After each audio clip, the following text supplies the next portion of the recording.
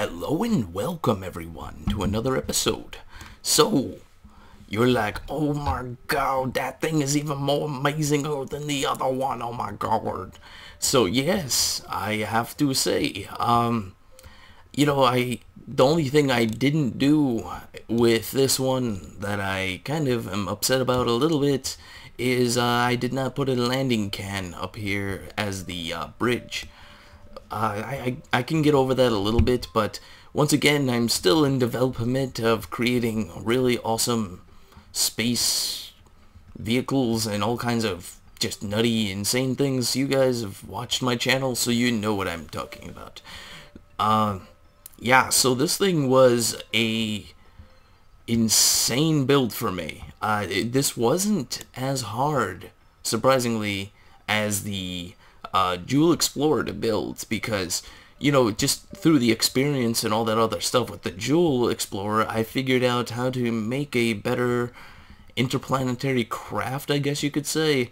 And, you know, I kind of, you know, put a lot of my resources forward to, want to really, you know, figure out what is really going to work compared to uh, my Jool Explorer, which I didn't do a lot of things because I was like, oh, well, I don't need this and I don't need that. And um, it ended up, as you guys can see, not anywhere near where I wanted to get when I went to Jool. I'm a little upset with that, but, uh, you know, I felt bad because I shot that thing all the way to Jool, made you guys watch all these episodes, and it was kind of a dud. Um, you know, this one I'm hoping, you know, I took a lot of precautionary measures uh, to make sure that I can actually get it there. You know, it's got a higher orbit, and I'll explain all that in a minute, but uh, let me cover some of the features and everything else. So, I'm sure a lot of you guys are wondering. The Jool Explorer 10 had somewhere around like 5,200 fuel I'm not 100% on that one. If you, some of you guys want to check out my last episodes, you can let me know, or um, when I reconstruct it, because I will be using it again. I shall find out. Uh, yeah, so this one has about 8,500 fuel. Uh, I haven't used any of it at all. Any, I completely stocked this thing up.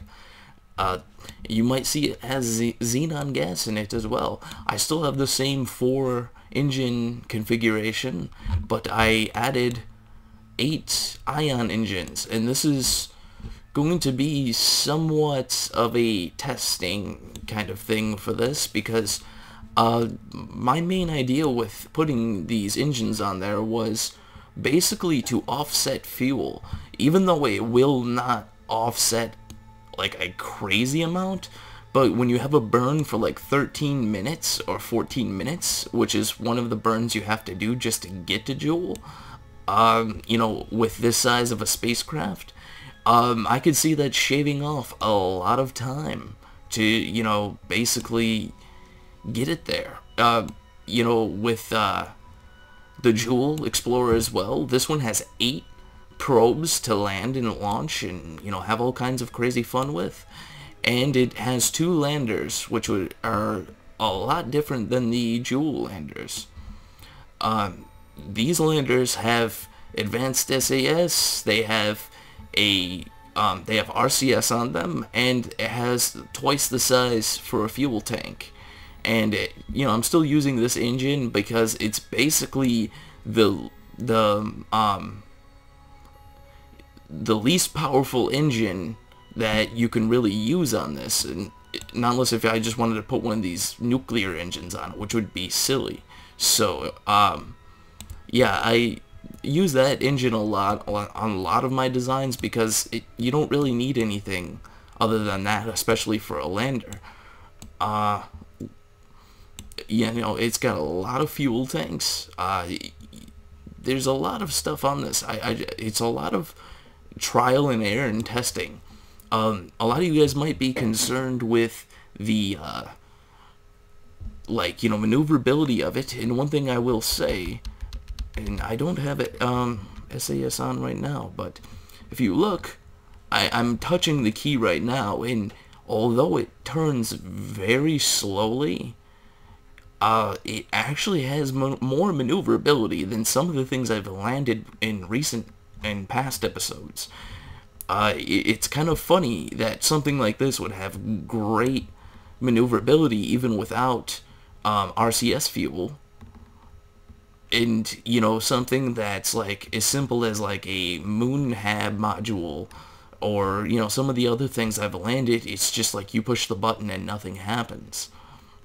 Uh, now with these landers and everything else, I'm feeling very comfortable with this thing that I should be able to get to Jool. Um, you know, I did change the RCS thrusters as well. I, I used the same four configuration, but on my last one I did not put it on the back end. Uh, and that was kind of a stupid mistake by me. I, I I honestly think. Like, because on the front it was maneuverable, but on the back it didn't really do anything at all. So, and, and I also put some um, of the RCS thrusters, you know, that point in all directions. Yeah, the, the uh, four directions that I don't have them on for, just because I want to be able to maneuver in any direction just in case and this thing can basically turn on a dime. It's actually kind of funny, but I can basically spin it around in less than like five or six seconds. It's kind of nutty. So, um, yeah.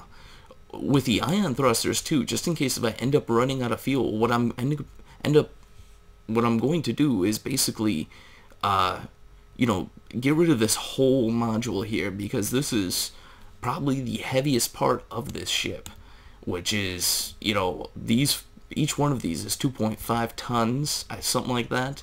So, and, and this one tank here is, I think it's 8.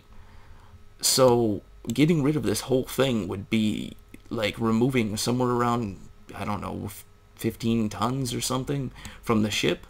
So, I don't even know how much, what the tonnage of the ship is, to be honest. But I do say it's very high. Um, now I'm going to do a little test burn for you guys because I did not do that with the last episode. I'm going to quick save it so I'm this won't be, you know, messing up my flight in any kind of way. So I will turn on the um, advanced SAS and uh, get it to 100%. And I thought I had it on um, time warp but I guess not. So, we have these main four that turn on on the outside. And uh, I don't think I quick saved it. Hold on, let me just make sure I quick saved it because the last thing I want to do is uh, break stuff or ruin it. So, quick save. There we go. And let's turn this thing all the way up. So I, I basically use some xenon gas now. Uh, I might have to launch a refueling mission. Now, oh, SAS is on. Turn that on. And those are the main four engines and the four ions. And now that's all the engines on. All 12 engines. Now, one thing I will say is if you look at my orbit is a lot different than my last orbit. Uh, I moved it out with um, when I put the crew on this ship.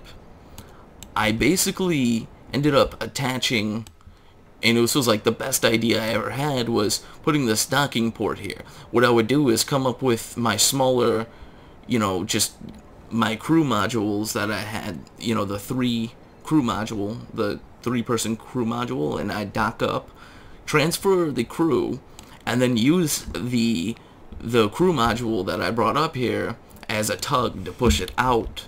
And I, it was only two missions, and it got me out to a 600 by 600 orbit. And that will burn considerably less fuel burning from there than burning from, you know, a 100 kilometer orbit or you know, 150 kilometer orbit or 200, which is what I had it at when I went with the Jool Explorer. Like, you can even see right now, if I were to go to the moon, and this isn't like my flight plan that I plan on choosing or anything like that, but to get to the moon right now would only take 550 meters per second. That's all I would have to achieve compared to if you're like at 100 orbit, it's like 850 or something like that. So, yeah, and what I plan on doing, and I didn't do this with the Jool Explorer either, is to use the moon as a slingshot to get me out of the system. Because that will, I won't have to burn as much fuel. That's basically all I have to do is achieve this, which is nothing compared to, um, you know, burning and just heading straight away from the planet, which is a really stupid thing that I did, but you know, I, I kind of learned from, you, you gotta learn from your mistakes. So, yeah. Uh, I think I've covered almost everything I possibly could cover, but, um, you know, if you guys have any questions, uh, you know, this was four separate launches. You know, the, this was the first launch piece here. Uh, then there was the second here. And the third, which is right here and then the fourth. So I did a lot of different things with this as well. I kind of sectioned off a lot of modules and uh, you know basically when I launched I was like okay well I'm only gonna need this for this launch and I'm only gonna need this for this launch. And you know the one thing I'm going to change as well is to um, maybe make it so that uh, you know, like if I rebuild the same one, I'm gonna make it so the RCS modules are over here instead of back here because then what I can do is basically detach and I don't know, maybe that would work, maybe that wouldn't, but you know, I could basically detach it and only have this part and then get rid of these back end pieces and I'd still be able to use the ion drives, I think. I don't know, I don't think that would work. Yeah, these would be gone. So I'd have to you know, rework it. Maybe put the ion drives up here and put solar panels there or something. You know, whatever. So I'm going to kill these engines. And yeah, I haven't experienced anything really that um, bad with this thing. Uh, as far as yet, um, you know, it still needs a lot of testing and I'm not going to test it. I'm just going to send it straight to Jool. There's no point. so, uh, yeah, these guys have a, um, they're not going to be very happy if they end up somewhere along the lines of, uh, you know, the Jool 10. So, this is the Jool 11, by the way, so I, I guess I should I should have mentioned that at the beginning of the episode. If I didn't already, I'm sorry. So, anyways, guys, uh, you know, check out, I'm going to be posting this thing on the Kerbal Space Program forums, which I have to say, if you are not a member of, you need to join up as soon as possible because it's a great community, friendly people, and everyone's willing to help you out with any whatever problems you have. And, uh, you know, I, I, you'll see me posting on there and everyone else and you know, even Kurt J. Mac is a part of the forums, and there's all kinds of just fun things to do. And, uh, yeah, I have to say thank you to Mr. BroJ Games for making my background. Um, if any of you guys have noticed, it used to be stars, but now it's planets and stars and all kinds of Kerbal-like things. Yes, thank you, sir. You are a gentleman and a scholar. Uh, if any of you guys, you know, definitely check out my Facebook and my Twitter. I always post the updates for when I release my videos, so you'll always know when I have a new video out. And, uh, yeah. Thank you for watching, and I will see you next time.